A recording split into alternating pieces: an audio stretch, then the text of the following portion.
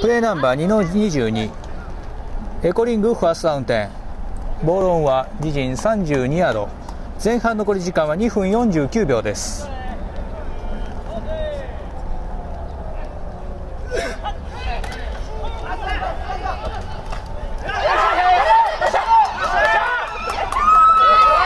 ーンオーバー。クォーターバック8番。ワイドレシーバー9番にパスを投げましたこの時9番がファンブル。